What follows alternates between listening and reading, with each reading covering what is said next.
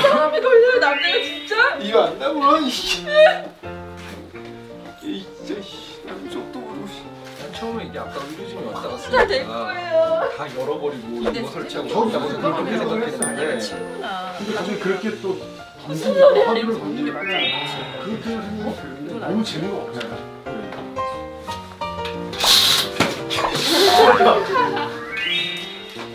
많이 아 뭐야 이런 느낌이었나?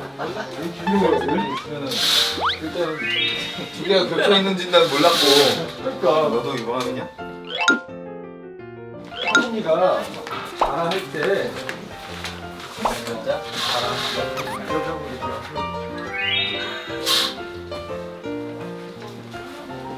대고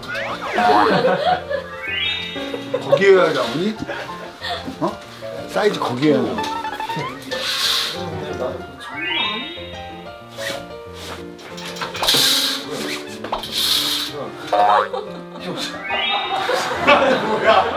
아나. 참아 내가 이렇게 되게 괜찮았죠? 어 완전